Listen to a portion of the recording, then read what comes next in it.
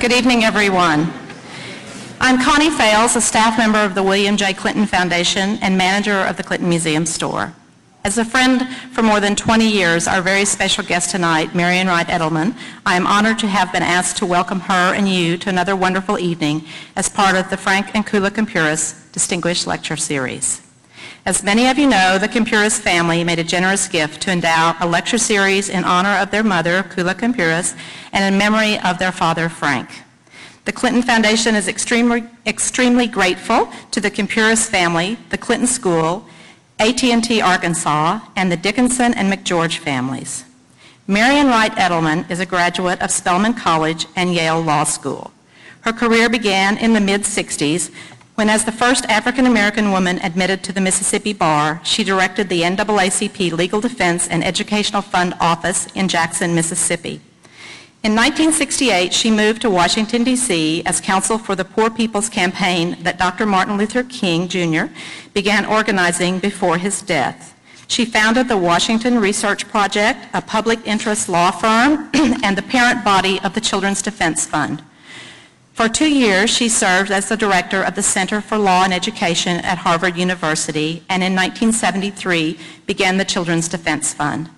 Most introductions like this list all or most of the awards and honors the speaker has received. I couldn't possibly do that without running into tomorrow, so let me give you just a few. Marian has been awarded the Albert Schweitzer Humanitarian Prize, the Heinz Award, the MacArthur Foundation Prize Fellowship.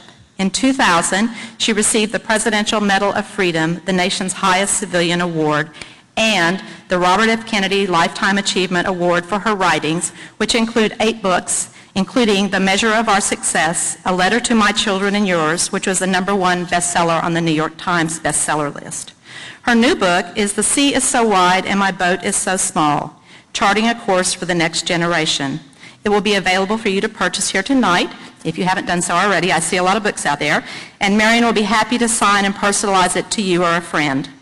Marian is also a member of the Council on Foreign Relations, the American Philosophical Society, the American Academy of Arts and Sciences, and the Institute of Medicine of the National Academy of Sciences. Are you feeling as much as an underachiever as I am tonight?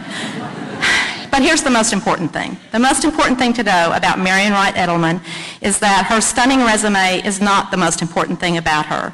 She is a woman who literally devotes every day of her life to the hard work of making lives better for children plagued by poverty, poor health, illiteracy, violence, adult hypocrisy, and injustice. As the Torah says, when you save a child, you save the world. And I can't help think but how different our planet would be if there were just a few more people like her. Please welcome Marian Wright Edelman.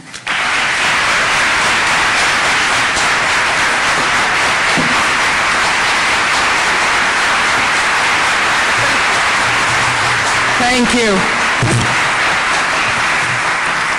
I love Connie Fales, and I'm very glad to have such a warm introduction. Thank you for the honor of delivering the Kumpuris lecture this evening, and for the chance to be in this beautiful place. Um, I had not had a chance to come when it was opened, and it's just gorgeous. And Bill Hillary Clinton, as you know, have been long, long friends and enormous influences in my life, and so I'm especially happy um, to be this, be here tonight and, and to meet your staff and to meet some of your Clinton Public Service students, and um, two of whom were Spelman College graduates who are from Kenya, so it makes me feel very much at home. I am a mother of three wonderful sons, and now I've had four beautiful grandchildren, and they've radicalized me all over again. and they have touched my deepest heartstrings and evoked a renewed sense of responsibility. I look at our nation and the world with heightened alertness for beauty and joy to share, and for dangers that may threaten these dearest gifts, and ask what kind of families, communities, nation, and world are we adults passing on to our children and grandchildren? What values are we instilling by our actions as parents, grandparents, faith leaders, educators, and political community and cultural leaders and citizens? What legacies are we bequeathing through the moral and economic choices we're making today? Or their nation and world safer or more dangerous? Will their standard of living and quality of life be better or worse than ours? Will our children and grandchildren be able to afford and get the quality of education needed to compete and contribute in an ever-demanding and rapidly changing globalizing world? Will our nation be able to bridge and close our huge divides of race, income, and gender to foster respect and justice for all people? In this first decade of a new century, our nation and world, I believe, have veered alarmingly off track, become less safe, less just, more precarious, and balkanized. The gap between rich and poor in the United States and the world are the highest ever recorded. A cloud of nuclear annihilation hangs over every child and human being. Global warming threatens Mother Earth, and before and after 9-11, we have come too slowly to recognize the oneness of our poorest world where disease, pollution, climate change, and terrorism know no borders and require collaborative solutions. And the militarism, the excessive materialism, the racism, and the poverty Dr. King warned could lead to our national and global destruction still run rampant. So this year I felt compelled, because it is a nation-defining and globe-defining election year, to write a series of letters to parents, to religious leaders, to community leaders, to citizens, um, to my grandchildren with my hopes and visions for their future, to young people um, who need to hear from adults what are the values we think are important. They can take them or leave them, but it is still our duty and responsibility to share them. I set out an agenda for our leaders, which I hope we can begin to focus on because I believe very deeply that while we're in the middle of this economic debacle, um, it is not as serious as what will hit us if we continue to fail to invest in our human capital and our children. And it's going to be our failure to invest in all of our children is going to be our moral and economic Achilles heel that is going to topple us um, from leadership and competitiveness in the new century. And so I also want it because this is the 40th anniversary of the Poor People's Campaign, and that is the grandparent of the Children's Defense Fund. And because Dr. King was such an important influence personally in my life, as well as to all of us, I wanted to write a letter to him, and that is the letter that I want to share with you this evening. And I hope that we will all begin to revisit and see and hear Dr. King. Rabbi Abraham Joshua Heschel introduced him a week before his assassination at a rabbinical assembly in upstate New York and said that Martin Luther King Jr. is a voice, a vision, and a way. And I call upon every Jew to hearken to his voice, to share his vision, to follow his way. The whole future of America will depend on the impact and influence of Dr. King. And I stood with thousands at the Morehouse Atlanta University Center campus as Dr. Benjamin E. Mays eulogized Dr. King, and he said that we have assembled here to give thanks to God that he gave to America at this moment in history Martin Luther King Jr. and said to him, Martin Luther, speak to America about war and peace, about social justice and racial discrimination, about its obligation to the poor, and about nonviolence as a way of perfecting social change in a world of brutality and war. And so I began this letter, which was, I guess, the core reason for writing this book, other than my concern about grandparents, but they're the same, as follows. Although you have been gone 40 days, you are 40 years, you are with me every day. We have made much but far from enough progress in overcoming the tenacious national demons of racism, poverty, materialism, and militarism you repeatedly warned could destroy America and all of God's creation. So I wanted to write you a letter on what we have done and still have to do to realize your and America's dream. Just as many Old and New Testament prophets in the Bible were rejected, scorned, and dishonored in their own land in their times, so were you by many when you walked among us. Now that you are dead, many Americans remember you warmly, but have sanitized and trivialized your message and life. They remember Dr. King, the great orator, but not Dr. King, the disturber of unjust peace. They applaud the Dr. King who opposed violence, but not the Dr. King who called for massive nonviolent demonstrations to end war and poverty in our national and world house. They applaud your great 1963 I Have a Dream speech, but ignore the promissory note still bouncing at America's Bank of Justice, waiting to be cashed by millions of poor and minority citizens, and they forget your repeated nightmares, the deaths of four little girls in the Birmingham church and of three young civil rights workers in Mississippi's Freedom Summer and others across the South. The cries for black power begun during Meredith's march against fear that you and others completed after he was shot. The growing violence in urban ghettos in southern and northern cities, the horrible, relentless violations of your human rights by FBI Director Hoover the storm of criticism that greeted your opposition to the Vietnam War, which you saw, was stealing the hopes and lives of the poor at home and in that poor country. The outbreak of violence in a Memphis march you led to support garbage workers and the resistance to your call for a poor people's campaign to end poverty, then afflicting 25.4 million Americans, including 11 million children. We now have 36.5 million poor Americans, including 13 million poor children, although our gross domestic product is three times larger than in 1968, and the gap between our rich and poor is higher than ever recorded. But you struggled on as the civil rights leadership splintered, as white Americans tired of black demands, and as the country became preoccupied with Vietnam. I marveled every night during the long Meredith march from Memphis to Jackson at your patient discussion with Stokely Carmichael and other SNCC leaders who wanted to exclude whites from the movement and push you to endorse all necessary means for change, including violence. You listened as they vented their justified frustrations about the slow pace of racial progress and you tried to reason with them, repudiating their proposed black power slogan and strategies without repudiating them.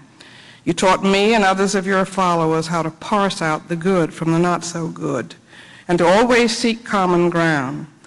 And when you had no immediate solution, you gave others the courtesy of a respectful hearing. In the years between Montgomery and Memphis, you listened, learned, grew, and spoke the truth about what you discerned and resisted those who sought to ghettoize your concern for social justice and peace. After your opposition to the Vietnam War provoked a firestorm of criticism by whites, blacks, friends, and foes, you correctly asserted that nothing in the commandments you believed in set any national boundaries around the neighbors you were called to love. Black people told you to be quiet, not anger President Johnson, and jeopardize his support of civil rights and anti-poverty efforts. White people told you to be quiet because you were not an expert on foreign policy. As if black leaders and citizens had no stake in a war tearing our nation apart and taking disproportionate numbers of black children's lives and forgetting that it was the experts that got us into this ill-fated war in the first place. Some contributors deserted you as you called not only for an end to the Vietnam War, but for fair distribution of our country's vast resources between the rich and the poor why they ask, were you pushing the nation to do more?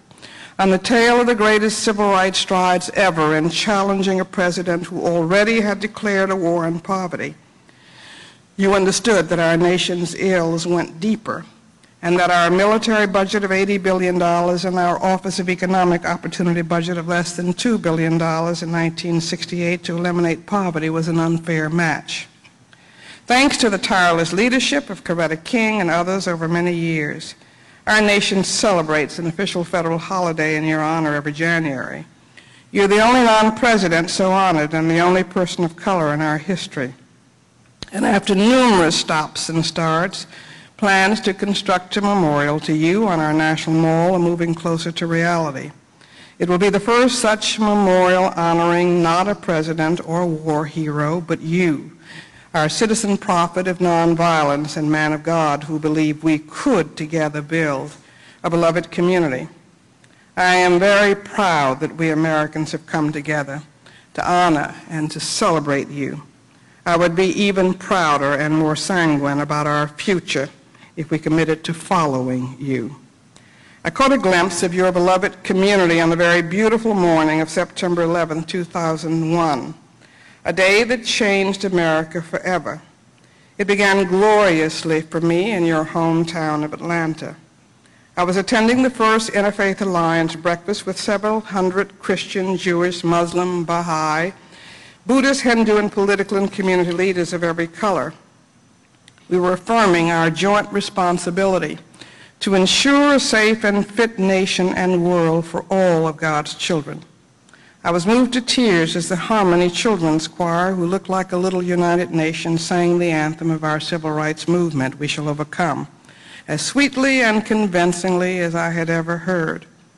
But this taste of heaven on earth was shattered by hate and hell on earth as your close colleague and friend Andy Young, who became Atlanta's mayor and UN ambassador after you died, met me at the door with the news of the terrorist planes crashing into the World Trade Center and the Pentagon and of the unknown whereabouts of President Bush. I gasped aloud in horror at the world spinning out of control so suddenly and experienced for the first time on our American mainland the terrors of war up close, as many other nations already had experienced. Gone forever was our false sense of security and invulnerability that our military and economic might and political rhetoric had embedded in our collective psyches. My deepest initial fear was about the reaction of our leaders and the chance of a catastrophic Third World War with nuclear weapons.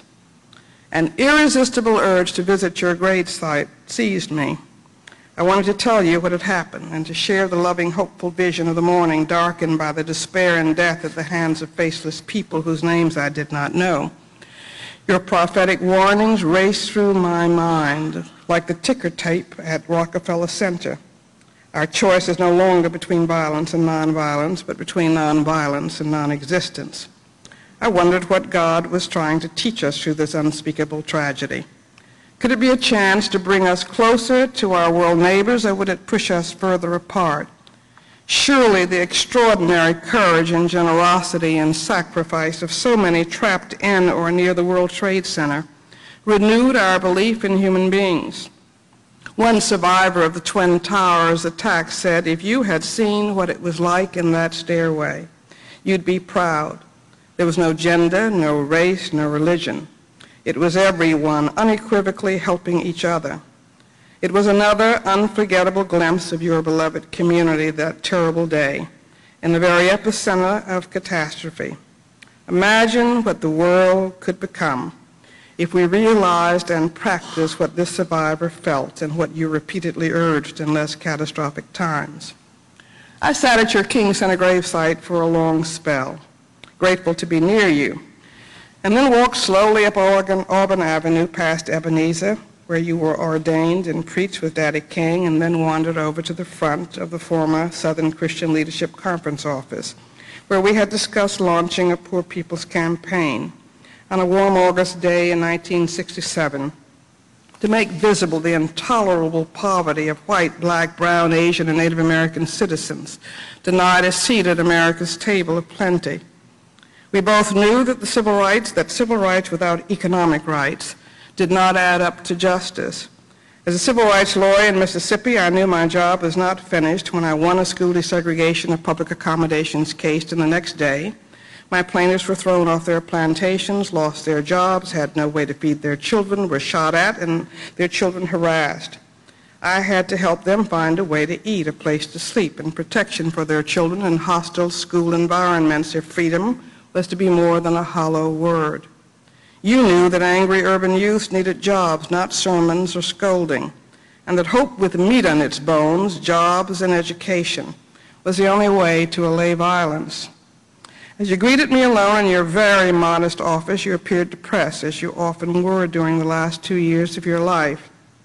I told you I'd just visited Robert Kennedy that morning at Hickory Hill at his home in Virginia, shared with him my deep frustration with the snail's pace in getting federal help to the hungry poor of the Mississippi Delta following his visit there in April 1967, when he had seen the empty cupboards of families with no income. When I told him I was stopping in Atlanta to see you on my way home to Jackson, he told me to tell you to bring the poor to Washington, and your face and eyes lit up. When I conveyed his message, you called me an angel and made a commitment on the spot to the idea and told Coretta that evening. She wrote he came home that night radiating his old enthusiasm and said, this is really it, and I could see his excitement for the plan. He said we should get people from all the poverty areas, south and from the north, people who don't have jobs or resources. It must not be just black people, but all poor people. And he realized that such a program would be a great change for the movement, which had always focused on Negro rights. Such a powerful coalition, he believed, could really shake the established order and bring about the needed structural changes to provide a better life for the poor. Still in a somewhat surreal trance, I went across town to the chapel at Morehouse College, your alma mater, to read your words inscribed on your statute out front, and here's what you said. Injustice anywhere is a threat to justice everywhere. We're caught in an inescapable network of mutuality, tied in a single garment of destiny, and whatever affects one directly affects all indirectly. A second quote, he said, the richer we have become materially, the poorer we have become morally and spiritually. We have learned to fly the air like birds and swim the sea like fish, but we have not learned the simple art of living together as brothers. You reminded us that nonviolence is a powerful and just weapon, a weapon unique in history with, which cuts without wounding and enables the man who wields it. It is a sword that heals.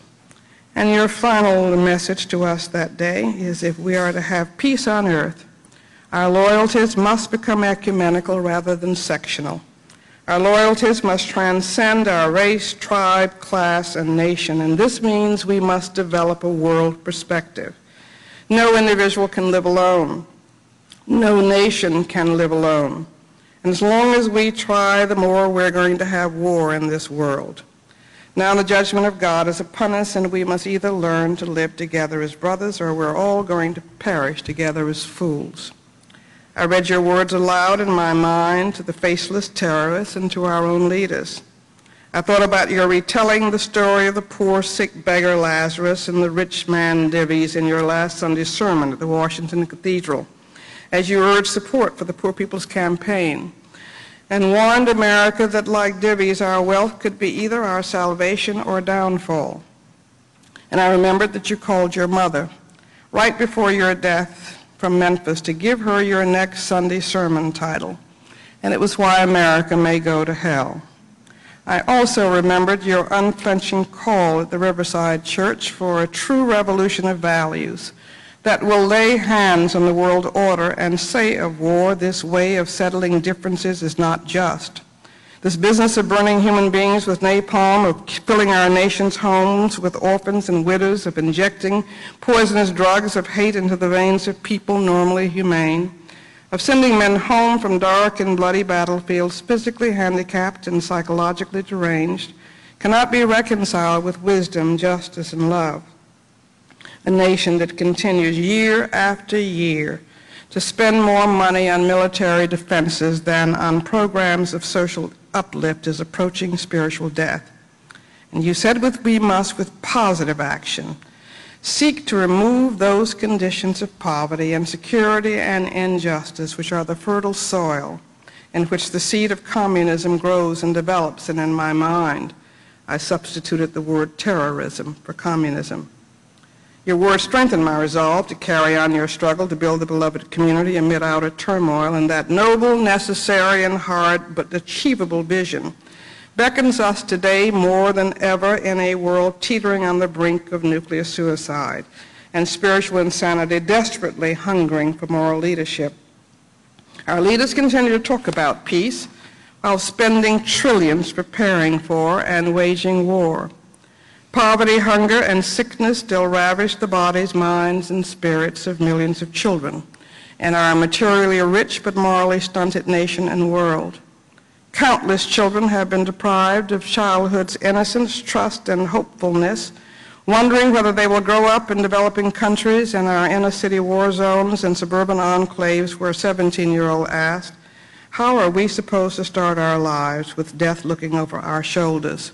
And after 9-11, I was so struck by a 10-year-old from Connecticut who said, I'll never trust the sky again.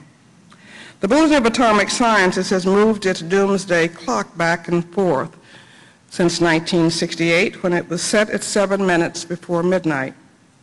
Today it stands at 5 minutes to midnight as more nations possess nuclear weapons with the very scary possibility that they could fall into the hands of rogue nations and terrorists. Equally disturbing is the grim reality that the United States and Russia, despite the thaw in relationship, still maintain more than 10,000 nuclear warheads, poised to kill every person in our two countries in a few minutes. Rhetoric about producing more effective nuclear weapons makes not one sliver of sense. How could we stop the world spiraling out of control? If any nation dared unleash a nuclear weapon ever again to win any war for any reason, who were the maniacs who even consider putting a nuclear option on the table in today's world? Have they forgotten that the earth is the Lord's and the fullness thereof and all they that dwell therein? Who made them God? Martin, how did we reach this insane place? Is there any way to thank, is this any way to thank our Creator for the life and earth lent us in trust for all generations to come? Is the cloud of potential destruction of human life the legacy we want to bequeath to our children and grandchildren? Has our scientific technology simply enabled us to go backward faster? How do we extricate our children and grandchildren from this nuclear prison? And as the world's leader in military expenditures and exports and nuclear capability, can America become a leader in nuclear disarmament rather than nuclear armament and pull us back from the edge of human extinction. National nuclear supremacy or winning a war with nuclear weapons means nothing in a non-existent world. I don't want my children or grandchildren growing up under this shadow of man's ultimate evil hand, nor do I want any child anywhere in our world being unable to grow up or growing up embittered because unused weapons of any kind for robbing them of food, health care, education, clean water, jobs, and the respect and protection owed them as children of God. I want to leave future generations a world of friends and not enemies. Thankfully, Vice President Gore has become our environmental Paul Revere, warning the world about the dangers of global warming and the degradation of our Earth. Although our nation constitutes 5% of the world's population, we consume more than a quarter of the world's energy, and our eyes are still opening too slowly to the folly of engaging in more wars to support our addictions to oil and consumption, and we're failing to adequately develop alternative and safer sources of energy. Sadly, your warnings about the dangers of excessive materialism and militarism are going largely unheeded. Since you died with the Vietnam War raging, we have engaged in 10 military actions, including the wars currently in Iraq and Afghanistan, and have spent more than $16 trillion in the military. Now, you warn not only about militarism, but about the dangers of poverty and greed, both obscenely evident today. The net worth of the world's 946 billionaires, most Americans, exceeds the combined gross domestic product of 138 countries with a combined population of nearly 2 billion people. How can we achieve a stable world when so few have so much and so many have so little? You said something was wrong with capitalism as it is practiced in the United States and recently released IRS data on America's 400 highest income taxpayers in 2005 confirmed just how right you are. The Wall Street Journal and the Center on Budget and Policy Priorities Analysis report that the income of these few skyrocketed between 1992 and 2005 to an average adjusted gross income of 214 million and combined income of almost 86 billion dollars. But after capital gains tax cuts in 97 and 2003, they saw a drop in their taxes of $25 million per filer in 2005 or a total of 10 billion in tax reductions. This staggering one-year tax cut to just these 400 richest Americans could have provided more than 7 million uninsured children health coverage for a year, which Congress and President Bush said we could not afford. And I must say, I've been stunned since we begged all of this year for $70 billion to cover all 9 million uninsured children um, and prenatal care for all uncovered mothers. Um, they said we couldn't afford to do that, and yet look how quickly we could find $700 billion to bail out those um, who have brought us to the, to the precipice of, of, of economic breakdown. I think we've got to change our priorities. And yet, incredibly, despite the growing gap, many of the richest and most powerful among us still don't seem to recognize that enough is enough as our economy hovers on the edge of recession and as millions of children have fallen into poverty, including extreme poverty, and lost health insurance. Now, Hurricane Katrina ripped away the thin, false veil of shared prosperity and revealed the pervasive poverty that suffered by hundreds of thousands of families in Louisiana and Mississippi. They were left behind as the water washed away the poorly constructed levees of New Orleans because they had no way out and ill-prepared city, state, and federal governments responded with incredible incompetence and indifference, although many Americans poured their hearts out to help. Yet three years later, tens of thousands of Katrina's children and other survivors are still waiting for their government to rescue them from homelessness, unspeakable poverty, dysfunctional public schools, and health and mental health systems, and post-traumatic stress disorders. And while the suffering of the poor persists and is growing, not only in Louisiana and Mississippi, but all across America, with increasing food insecurity, credit card bankruptcies, and home and job losses. Many of our leaders want to extend the tax cuts for the top 1% and make them permanent and even falsely call their expiration a tax increase. Who in the world taught such reckless disregard for the common good? And why do we Americans tolerate public and private sector leaders who engage in such overreaching? Our nation's riches were shared more fairly among all Americans, and the rich simply got richer at a slower rate than a, through a tax structure and fewer government subsidies for powerful special interests and individuals, and more tax release and, subs- and subsidies for low and moderate income families, millions of our children could escape poverty and get the basic necessities they need now to grow up to be healthy and educated adults, and I do hope that a critical mass of citizens and politi political leaders in both parties will stand up and demand that we reorder our priorities. We do not have a money problem in America still. We have a values and priorities problem. And we all have to say they need to be changed. We need more voices like yours calling for common and moral sense today. We need more leaders and citizens willing to struggle together to stem the out-of-control militarism and private sector materialism that still drives us. We need more leaders calling for an end to poverty and the downward mobility of large numbers of our children. And I'm confident that if you were here today, you would be ending poverty. You would say ending poverty is the top domestic and world concern facing us and would be calling for another Poor People's Campaign. Eradicating child poverty as a down payment on ending poverty for all will enable millions of children left behind to enter life on a more even playing field and to reach the first base of life in first grade ready to learn and rather than pronounce failures.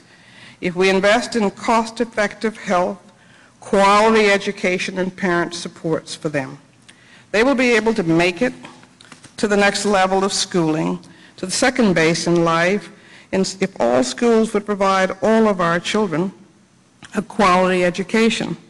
And we could teach all of our children to read and to compute by fourth grade and eighth grade and 12th grade, where a majority of all of our children still are unable to read at grade level. We cannot wait another minute to correct the massive failure of our currently largely segregated and still unequal public education system in which 85% of low-income public school eighth graders cannot read or do math at grade level.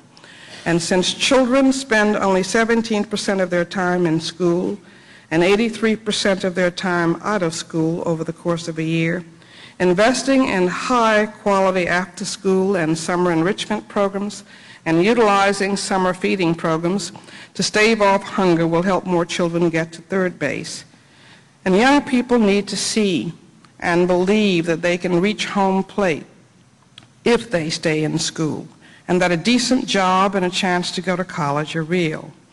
And the playing field that our children grow up must be cleared of the guns and drugs and cultural pollution that kill and lead so many astray.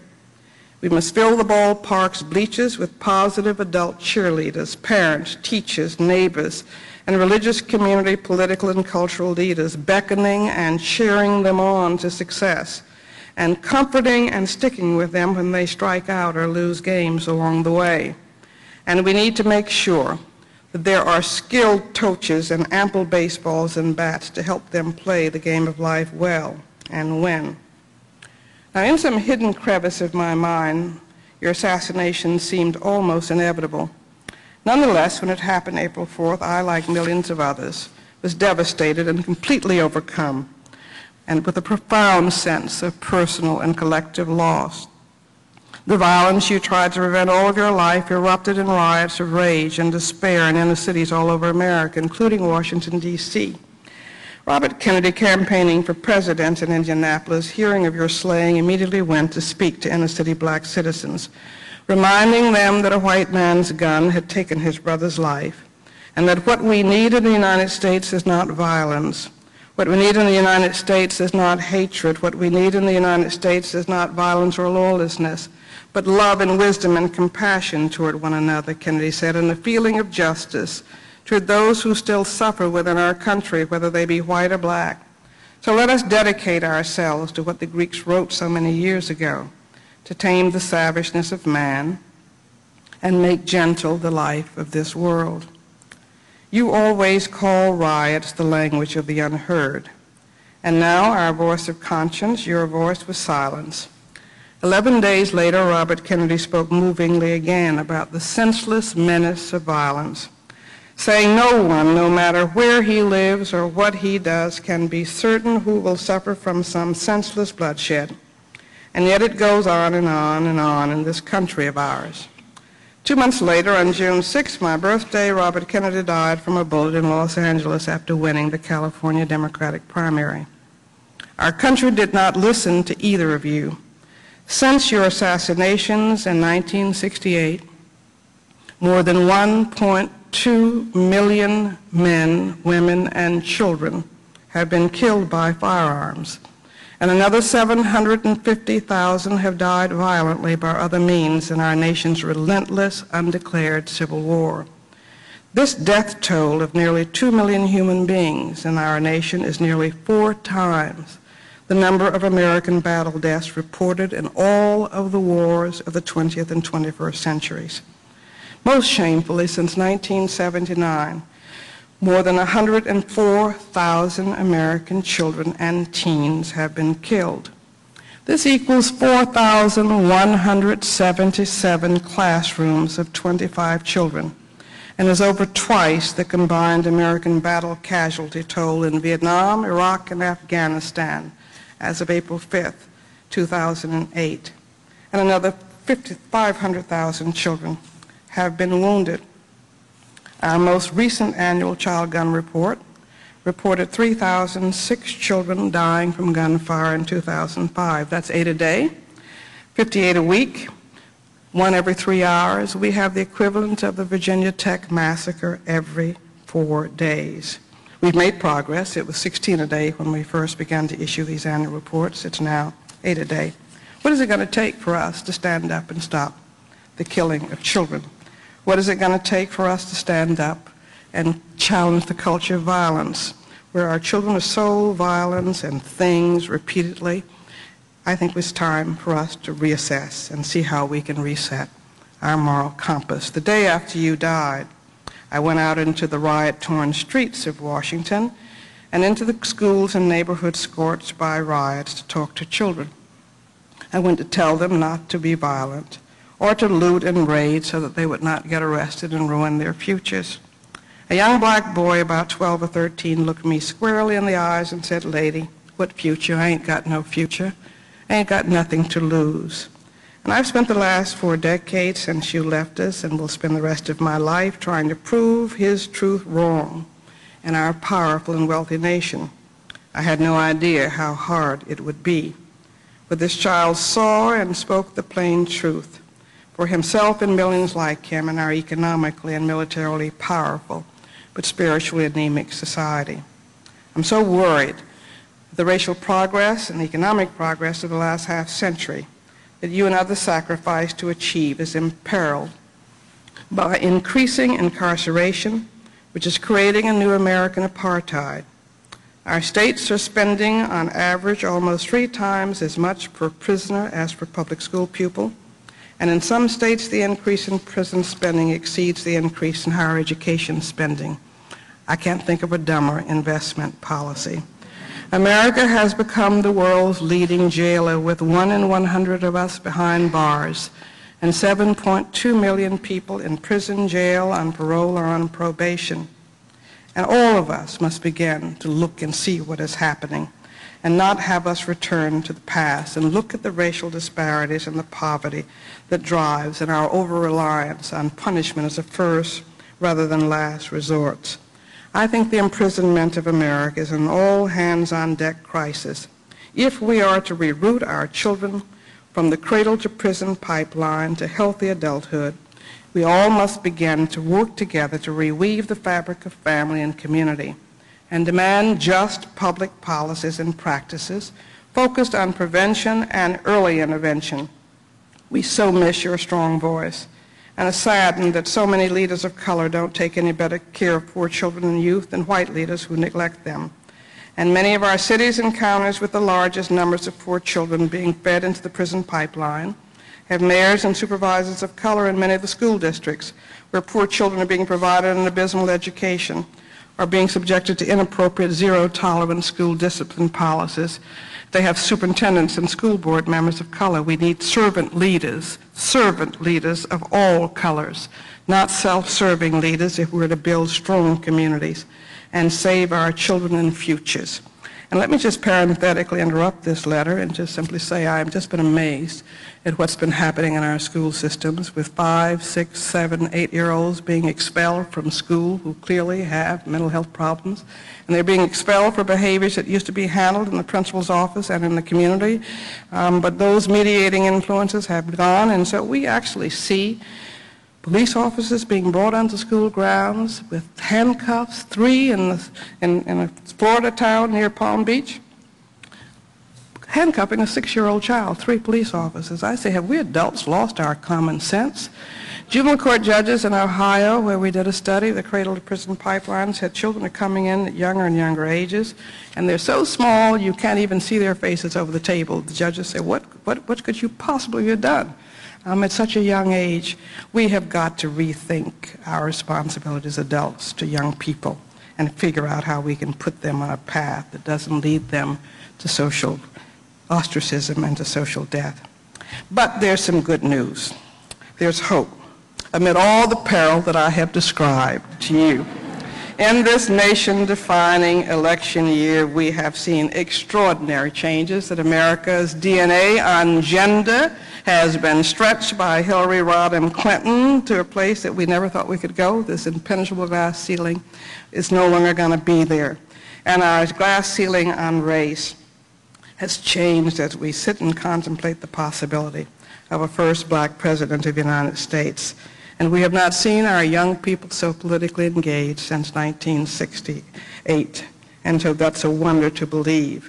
We have far many greater numbers of black elected officials from 1,500 to 9,500 today. We have 43 members of the Black Caucus. We have sent um, black astronauts to the moon. We have Supreme Court justices. We have Nobel laureates. We have blacks and Hispanics who are heading up Fortune 500 corporations.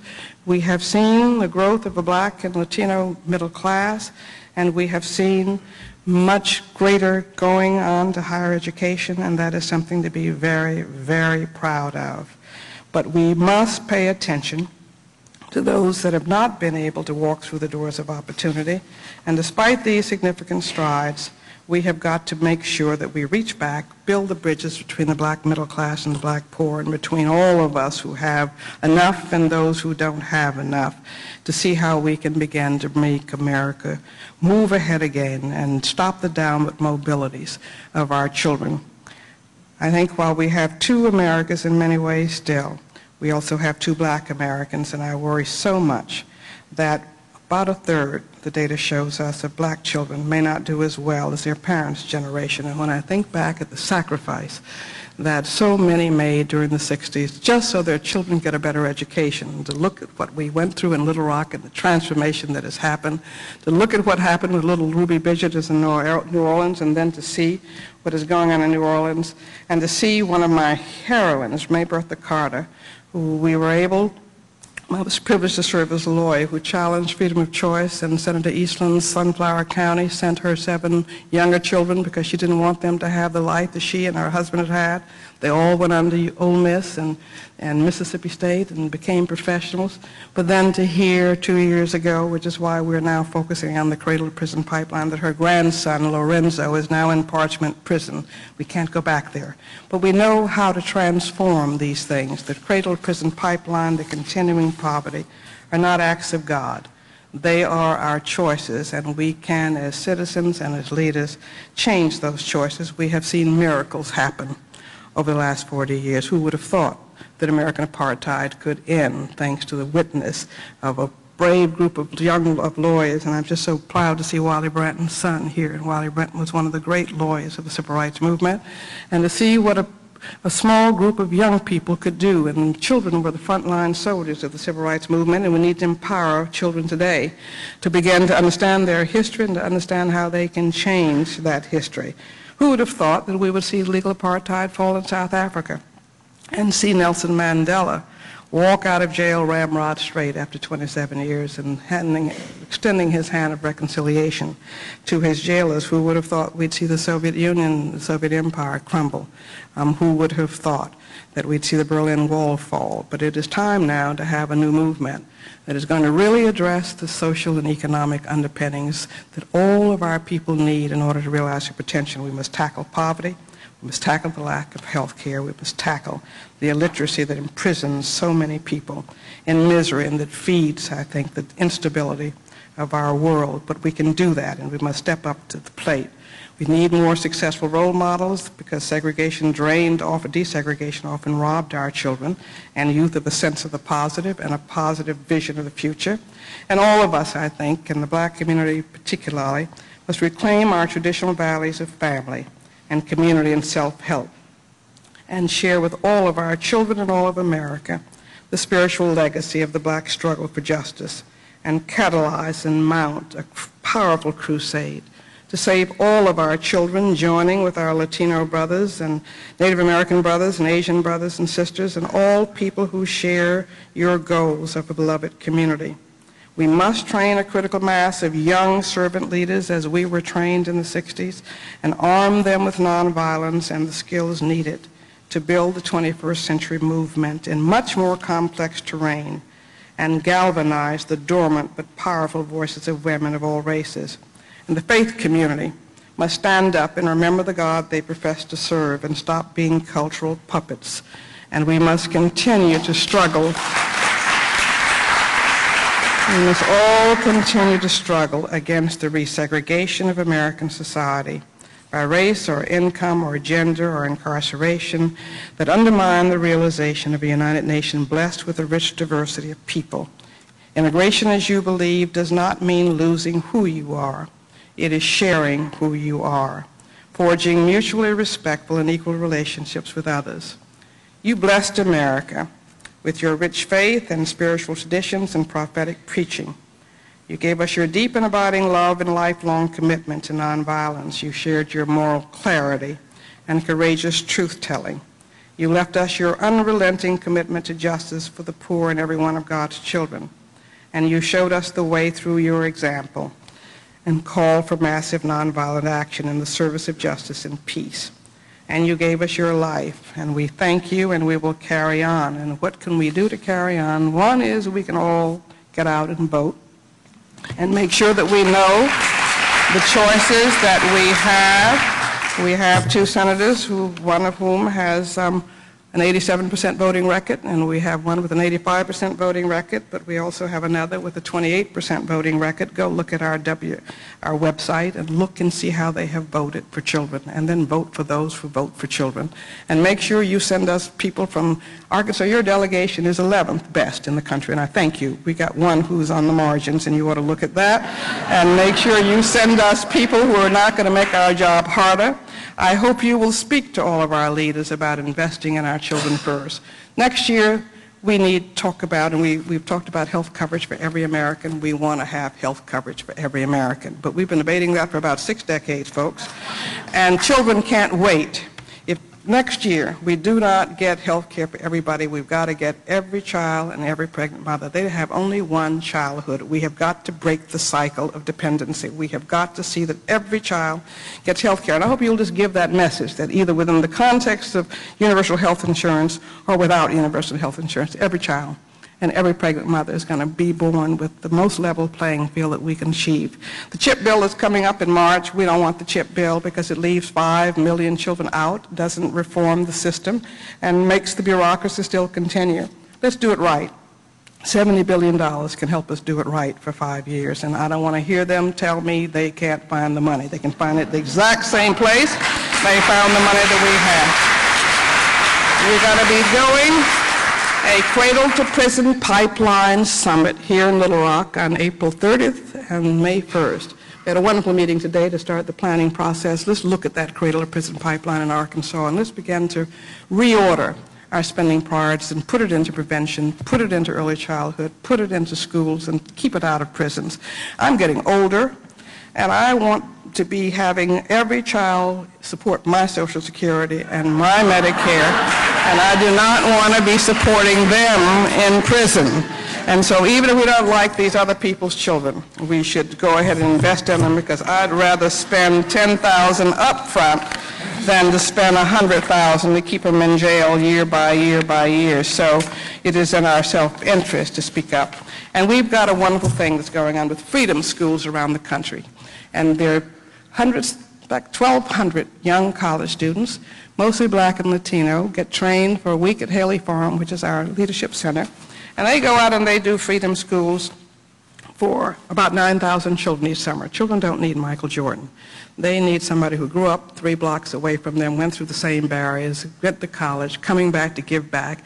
And I'm so proud of these young people um, who are teaching children they can make a difference. We talk about empowered children. We talk about children who learn how to serve. Children live up to our expectations. They are now learning that they can be citizens. They are not citizens in waiting. They are citizens right now.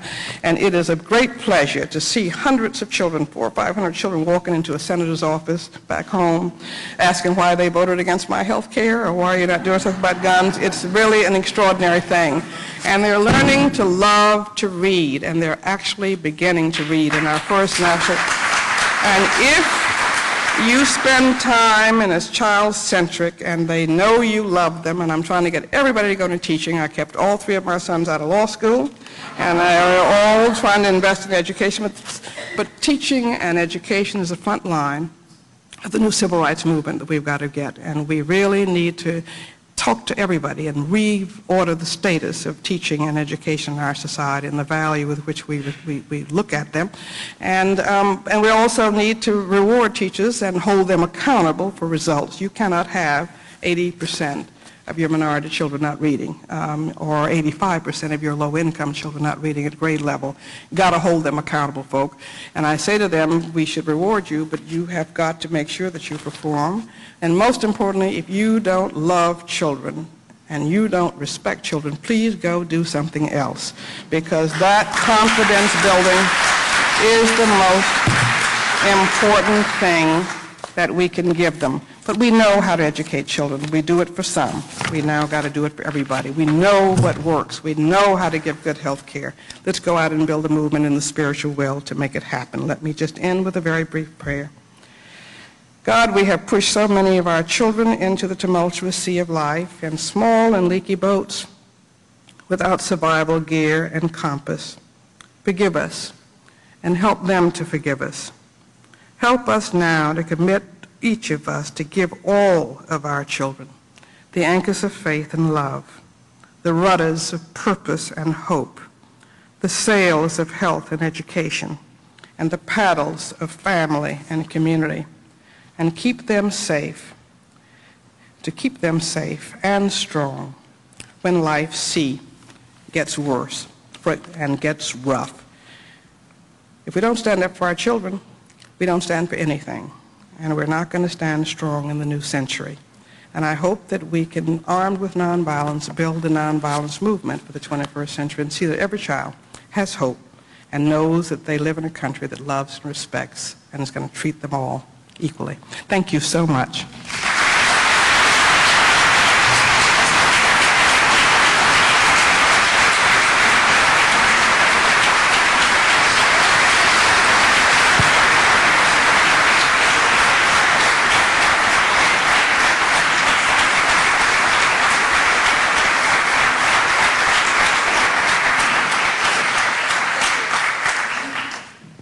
You may have enough, but we thought, Thank you. thank you. My name is Eric Wilson. I'm the Director of Development and Assistant to the Dean at the Clinton School of Public Service.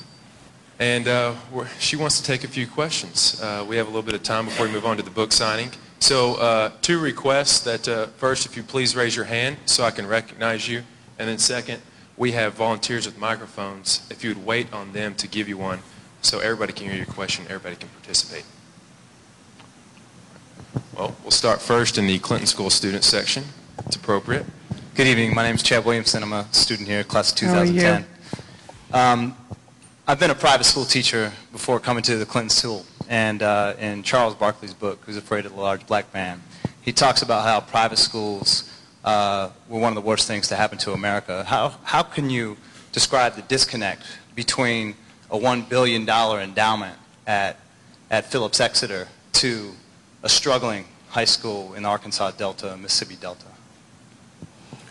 Well, I don't know how I could describe it. There is a disconnect. We've got to figure out, you know, people can have choices, but I think that what I do believe very fundamentally is that there's got to be an absolute floor to what we provide for every child. I would not close down Phillips Exeter. I would try to make sure that we got more access to as many children who wouldn't have that access as possible through scholarships and through good preparation and through um, open access into scholarships. But at the same time, you know, private schools are not going to be the answer to the millions of children who depend on public schools. 95% of our children attend public schools. And while I am for public school choice and for charters and performance schools, I'm so proud of my oldest son who is in charge of 80 charter schools in the Chicago public school system and performance and contract schools. We've got to figure out how to make all the schools in Chicago and all the children have um, the, the basic competence through our public school teachers, and we need very radical new reform. That's why we've got to entice more people to go into teaching. Um, we've got to award those through merit pay that do well and who perform. We need to have um, clear accountability standards, and I hope we can have a more robust debate when No Child Left Behind comes up. We need to test, but we don't need to rely solely on test, and we need to have multiple assessments, and we need to have, we need to address teacher quality, and we need to and, and class size, and, and, and, but we also need to engage the community in, in, in creating an ethic of learning. And one of the school systems that I cite, because there are lots of wonderful schools, public schools as well as private schools in the country, but a lot of wonderful public schools, but there are not a lot of wonderful whole public school systems. And we really have got to bring about systemic change. In Wake County, North Carolina, which is Raleigh, I think is one that I do cite. It's one of about the 40th largest school system, but you saw what good leadership, clear goals, clear collaboration with all the community entities, with business being behind building a productive workforce. And they have raised the floor where 80% of their children are, are really at grade level now, and I think that they're going to make their 90% goal. But you can do it with strong leadership, and so I think that um, we've got to make sure that we invest adequately in education, and that's why we've got to reorder our budget priorities. And so, you know, we talked about um, President Bush promised he was going to be the education president, and then he invested, you know, I can't tell you how many more amounts of money into war and into the tax cuts for the top 1%. We could have had a revolution in our public school education had the tax cuts for the 1% gone into investing in our children. So we citizens just have to get busy and talk about both recruiting better personnel but rewarding them and making sure that there's a minimal level of competency in every one of our children. But you know, schooling and achievement doesn't just begin when kids come into school. We've got to have a high quality early childhood system. Health issues Health coverage is an education issue. If a child can't see and can't hear the teacher, they're not going to learn. And so we've got to deal with the whole child because children don't come in pieces. And we've got to have the whole community foster an ethic of achievement. In my house, when I was growing up in a segregated town where there was bad schooling, we always had books in our house. We didn't have a whole lot of money, but before we got a second pair of shoes, we would always have extra books. And the churches emphasized reading, and we've got freedom schools now going on in churches. And when you reach out and tell kids that there's, there's a new vision, you know, they will respond to it. So the whole community has to chip in and make sure that kids understand that we're not going to let them fail and put into place the supports that we need. But it has to be in significant part through our public school system.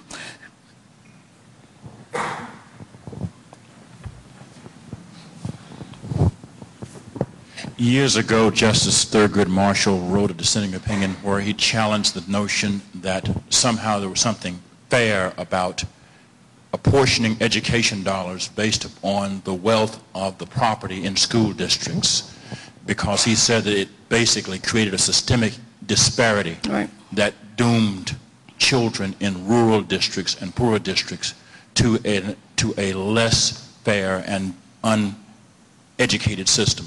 How can we change that mindset? But basically says, if I move to the right place, I can guarantee that I will demonstrate that my child will be smarter just because of his or her address.